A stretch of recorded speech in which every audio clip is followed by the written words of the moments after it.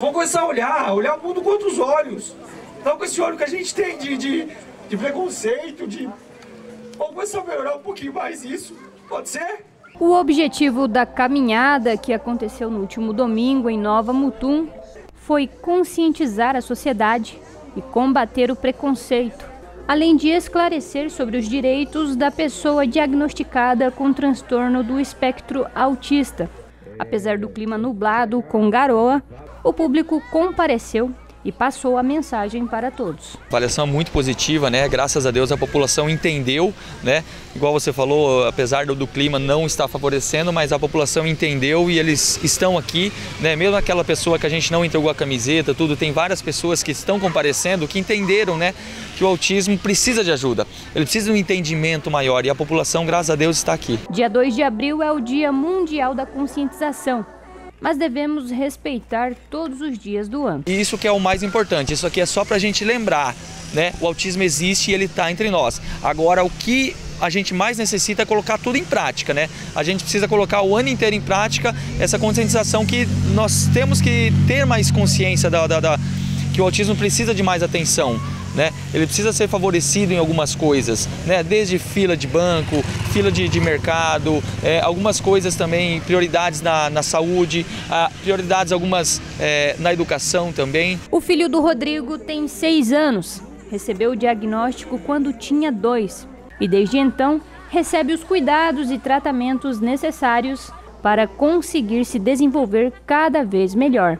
Ele destaca a importância dessas ações para os pais, que recebem o diagnóstico e muitas vezes não sabem como lidar com a situação. Que a gente que é pai e lida no dia a dia com as crianças, a gente acaba adquirindo conhecimento, informação, é... então isso se torna algo natural na vida da gente. Mas quem não vive o dia a dia é, de ter algum familiar é, dentro do espectro, ele não tem conhecimento, é, é o conhecimento devido, né, a respeito dessa questão.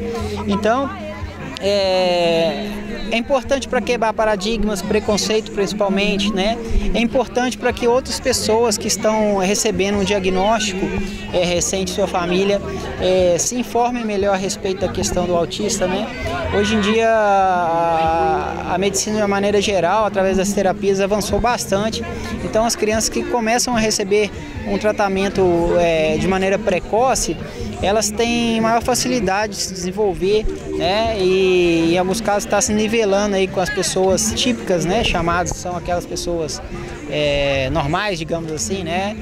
E é muito importante, porque às vezes o pai e a mãe está lá na angústia saber o que, o que ela pode fazer, então aqui você encontra hoje profissionais que vão poder esclarecer, é, indicar o caminho que essas famílias precisam procurar, é, principalmente nesse primeiro momento com as crianças pequenas, é, para que seus filhos possam se desenvolver da melhor maneira possível, né?